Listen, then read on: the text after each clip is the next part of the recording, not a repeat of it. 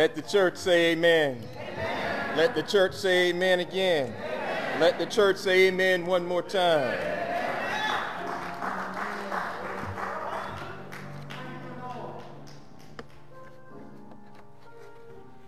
God is always good.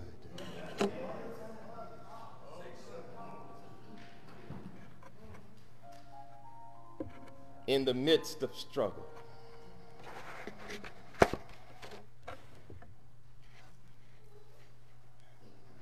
But God is the best in the midst of a struggle. There is no one else I would rather want to go to war with in a hellified world than with God of hosts, the God of Jesus Christ, who sent that Son to proclaim to the world that the time has come for the oppressed to be liberated, for the downtrodden and the marginalized to find their place in a new kingdom kingdom that is no longer marred by special privileges and what we theologians call hegemonic relationships. That is, relationships where one group of human beings dominates another group of human beings and actually uses the Word of God, no less. To make that dominated group think that their suffering is somehow redemptive. This is the world uh, in which we live. Wesley Chapel, good morning. Good morning. Giving honor to Pastor Hooker, um, thank you for that introduction, my brother. Um, I didn't know who you were talking about there for a minute. but I appreciate you for those kind words. Um, and I just want to say in response to all of you that you all know that you do not have uh, a traditional pastor and Reverend Amiri Hooker, and I mean that in the highest sense of compliments. In this place where I'm currently standing has presented to you as congregations either revolutionaries who are unconditionally concerned about your freedom. Or jacklegs who are only interested in exploiting you. And in my lifetime, I've seen those two extremes. And that's one of the reasons why I'm so upset. As your pastor used the upset adjective. Um, but I did share a platform with him at the NAACP Regional Convention in Columbia, and he struck me as someone who was not just an anecdotal, shallow preacher, but he struck me as someone who had a tremendous amount of depth and a tremendous amount of scholarship to the task that he engaged as a minister and as a servant in the community. I got an email from him about 10 months ago in the midst of finishing up my last manuscript. And the email said, I want you to look over this manuscript that I have finished. And I can confess among all of you now, I really didn't want to do it at that time. because I was nearing a publication deadline, but I got around to doing it and opened it up, and I was amazed at the breadth of sources and at the depth of scholarship that I saw in the manuscript that's out now and has become preaching in the midst of a tri-pandemic. I was honored to be one of the first to read that manuscript and still honored to be one of the first to read that manuscript. And if any of you don't have it or haven't read it, I strongly recommend that you get it and read it. These are not the types of issues and words that pastors usually write about. And there's a depth of inspiration as well as scholarship in it that I think that you will greatly benefit from if you purchased it and read it. Brother Amiri Hooker, give your pastor a round of applause.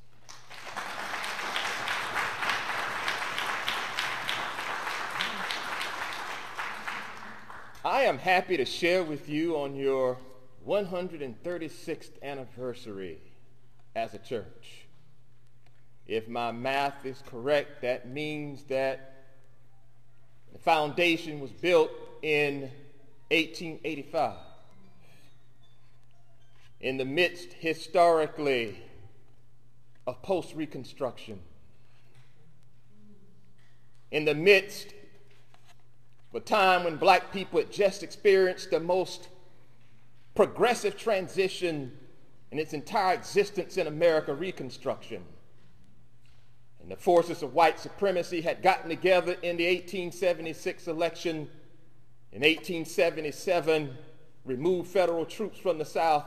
Wade Hampton, racist governor of South Carolina, shut the University of South Carolina out to African American students, including all of its professors, to include one Richard T. Greener. And so it came along at a time where crisis was about to revisit us once again. And there's not a better time for a church to become a church than in the midst of a crisis. We have not been strangers to crises as black people and to proclaim that you want to be a church in Lake City, South Carolina in 1881 is indeed an act of tremendous courage. For the creation of a church itself is an act of liberation. Yes, sir. It is an act and a declaration of God's promise to, to all human beings to realize the freedom inherent in human existence itself. But more than that, to proclaim a victory over the forces of hell is indeed an act of liberation. We are in a similar situation, and I'll get back to us in just a second. We are in a similar situation that Jesus was in toward the end of his life. And he knew that his crucifixion was near. And in the Matthean account of the gospel, he pulls aside disciple Peter. And he proclaims a new reality to Peter that came to be institutionalized in the way that Jesus envisioned the institutionalization of religion. He proclaimed to Peter Upon this rock I shall build my church, and the gates of hell shall not prevail against it. Jesus inherited a context where religion had become too formalized and not socially engaging enough. He had inherited a religion that had become too legalized, trying to maintain the law at all costs in the fear of dread if you so ever deviated in your sinful state, but nothing about the community and its transformation. He had inherited a popular religion that was obsessed with ritual. Every day, every week, same time, same place, same station. But that is the very type of popular religion that Jesus, Pastor, was upset hmm. about. And so he brought a new covenant to the world that freed us of the preoccupation with ritual, freed us with the preoccupation of legalism, freed us from the preoccupation of formalism. He even had the audacity to be out healing people on the Sabbath.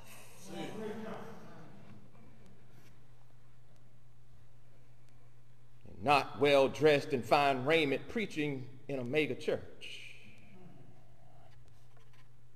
We don't understand uh, this approach to religion, particularly by a man proclaiming to be the Son of God.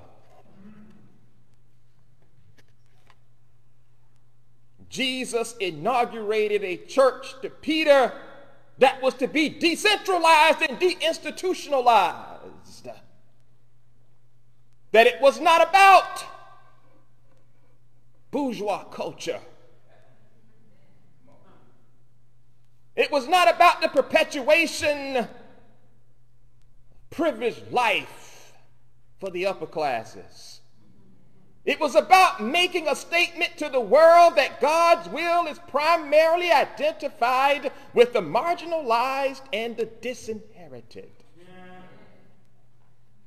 In other words, Jesus engaged in a turning of the tables and brought about a religion that's altogether different than what he inherited. We have done the same thing as black folk. We had church before we had building. And we were responding to a, to a crisis of our dehumanization as slaves, and we created Brush Arbor religion. We snuck down to the edge of the plantation, yes, for release, but also to plot, strategize, to create a new covenant in a nation that prided itself on being a democracy for one race of people. Yes. It is that contradiction and that hypocrisy that in 2021 we are still faced with in a hellified world. We understood that we didn't need bricks and mortar. We understood that when Jesus commissioned the church to Peter, he was not commissioning to Peter to build buildings. He was commissioning Peter to build a new world rooted in human liberation. Well, what happened? we have allowed ourselves to become institutionalized.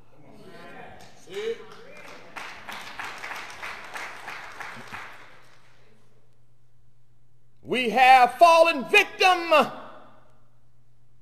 to formalism, to legalism, to ritual, to a theology that is racist, demagogic, dehumanizing, and repressive. Well, what do you mean, Dr. Singleton?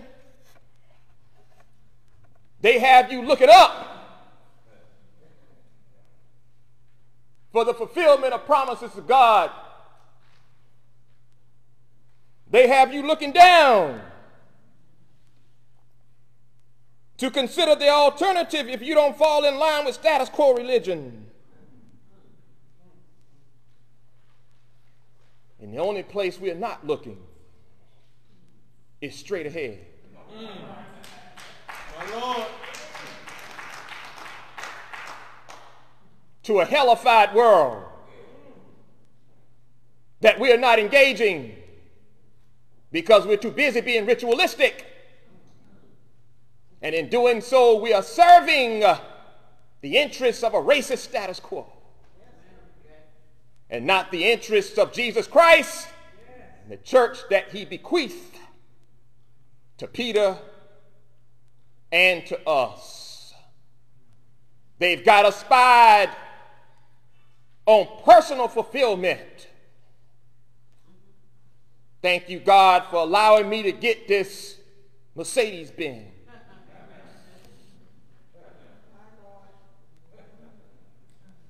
Thank you, God, for allowing me to buy this half million dollar home out in the suburbs away from the marginalized. And I'm going to go to church Sunday and thank you even more for it. Thank you, God, for allowing me to join this 20,000 member church. Much bigger than my church in Lake City. Them nothing happening Negroes. Nothing to come in our church, Harry, and see Patti LaBelle sitting in it.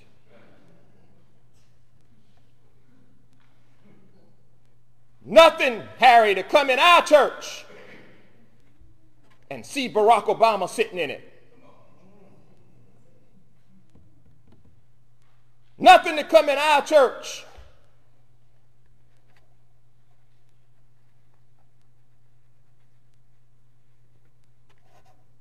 and see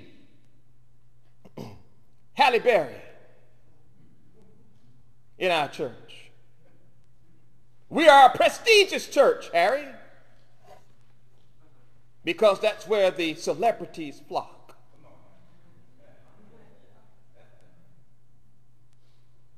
I've actually had people say that to me. And my response has always been the same. And your point would be?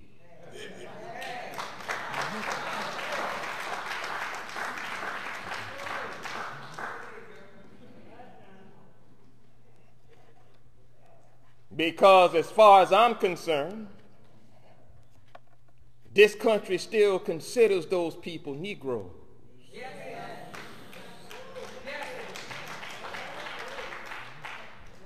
Still Negroes.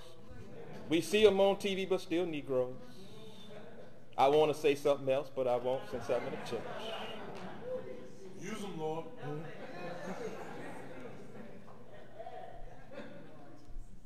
And yet you talking to me about a building. Malcolm said we don't catch hell because we are Baptists. We don't catch hell because we're Methodists. We don't catch hell because we are Episcopalians. We catch hell in a hellified world, Jesus.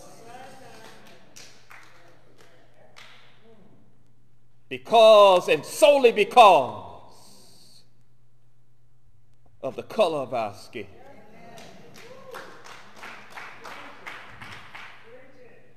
Try this on for size. Do you think that when Derek Chauvin had his neck on, had his knee on George Floyd's neck, do you think Derek Chauvin cared where George Floyd went to church?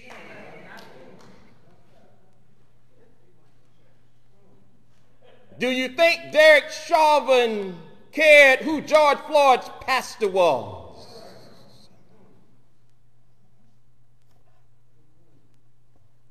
Do you think Derek Chauvin cared about how many members uh, were in that church?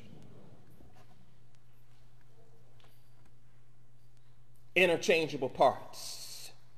That could have been any of us that day. But it was him. Do you think when the police entered the wrong apartment building and sprayed up Breonna Taylor's apartment?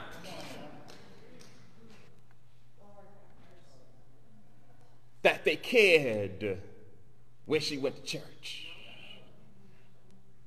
Did they care whether she was Baptist or United Methodist? I don't even think being a practicing Catholic would have saved Breonna Taylor. What is your point, Dr. Singleton? My point very simply is this, Wesley Chapel.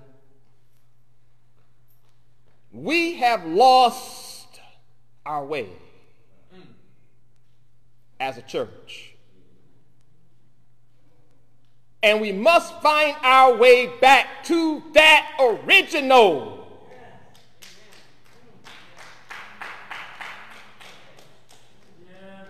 reason for being church, find our way back. In essence, we have lost the hope of Jesus. And we have lost the trust of Jesus. And so now we have to regain the hope of Jesus and we have to regain the trust of Jesus. How do we do that, Dr. Singleton? I'm glad you asked. Yes, Jesus said, Upon this rock I shall build my church, and the gates of hell shall not prevail against it. Jesus was not talking about a landmass. That's how we have lost our way. We think that we came to church this morning. We always think we leave home and come to church. But a church from its origins up to this moment has never been bricks and mortar. it has never been a building. It is meaningless without you and without me. That is the difference between formal religion and the new covenant that our Jesus Christ brings. Not brought, but brings because Jesus is still in the business of bringing hope and bringing trust. If church becomes real, it becomes church in our heart. And so if you got up this morning coming to church to come here to be churchized, then you have missed the point altogether. We need a theological renaissance. You didn't need to come here to be churchized. This building becomes church when you walked in it and when I walked in it because we bring church in our heart. And it is to that heart that we must return. When Jesus was making that statement, he wasn't going out to find a land deed. When Jesus made that statement, he was talking to Peter. Not for Peter to go out and build a church. Had enough of that. Peter is Petra, the rock. I'm building a church not on solid ground. I'm building a church on your back and your shoulders, Peter. And I am building it to put that church in your heart. That means that church in your heart doesn't mean you come to a building. If the gates of hell are prevailing against it, it means that you are not engaged in the hell you have encountered in your lifetime. And we have seen the benefits as a people when we don't get engaged the hellified elements in our society. When we don't engage the racist elements in our society and in the church. When we don't engage the sexist, hellified world in the society and in the church. When we don't make the unqualified commitment to poverty in a hellified world that make poor people think they're poor simply because they're inept. And then we go to church every Sunday and pay pastors hundreds of thousands of dollars a year to preach a doctrine that make us feel good about what we do to the poor.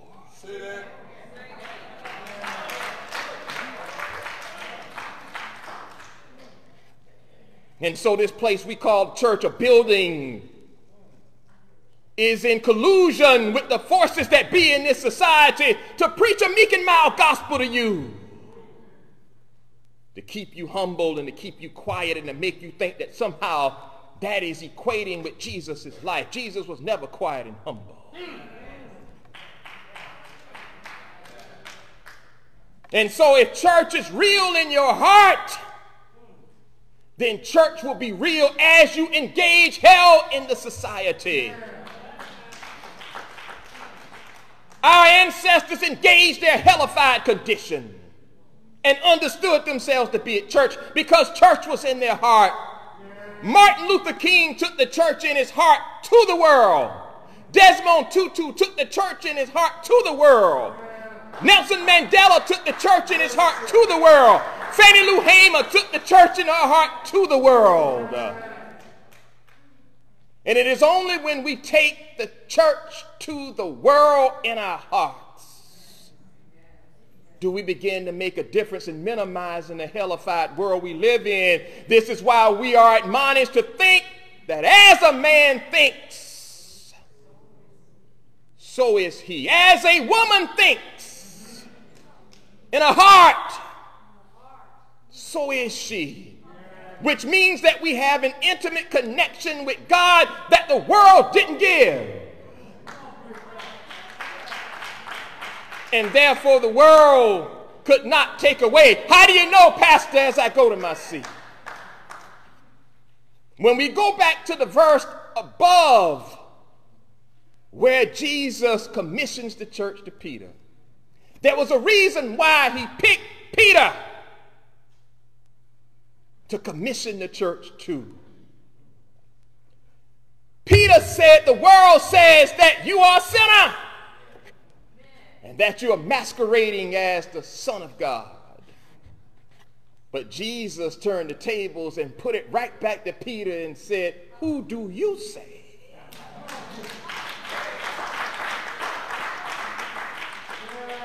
that I am. And Peter didn't say, I agree with them. Peter did not agree with the world. Peter understood that he was looking at something with the spiritual eye that the worldly and fleshy eye could not see. And he said, I am talking, thou art the Christ, the Son of the living God. And because he was the son of the living God, he died a death like all of us and a very, very humiliating death at that. But, but, but, but, since he came as the Son of God, He showed us how we could overcome the power of death, the power of hell, that the gift of God gives all of us if we would have church in our heart. It is not something that you tell the world, it is something that you show the world. And we've had great leaders to show the world that we believe that thou art the Christ, the Son of the living God. I believe it. Those who came before me believe it, and I'm sure that you believe it as well. And so, Wesley Chapel, as I say to you, on your 136th anniversary, it is now time for us to regain Jesus' hope, regain Jesus' trust, shed the old covenant of comfortability, and pick up the new covenant of human transformation and liberation by taking church to a hellified world. And saying to the powers that be, Your day is over, for I know of a God who sent a son into the world that I recognize not to be a mortal man, but the Son of God.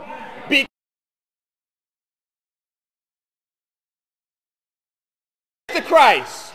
He lives. And because he lives, I can live a redeemed existence, knowing that death is not the end of my existence.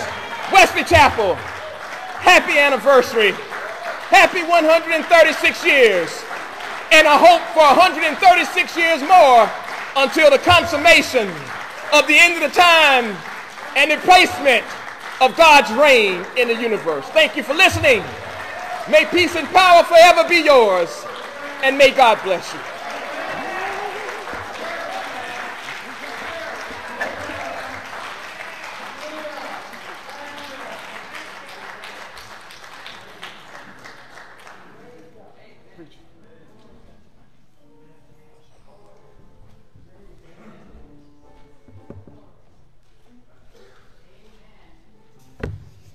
I know, I know. I just, it's a time thing. I, you know, I, I just like to sing the song and go and, and, and run around the church and, and, you know, and just just a little thank you, Lord, a, a little little something just to.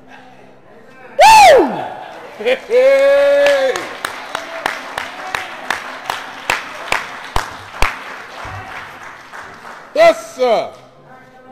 feel good now.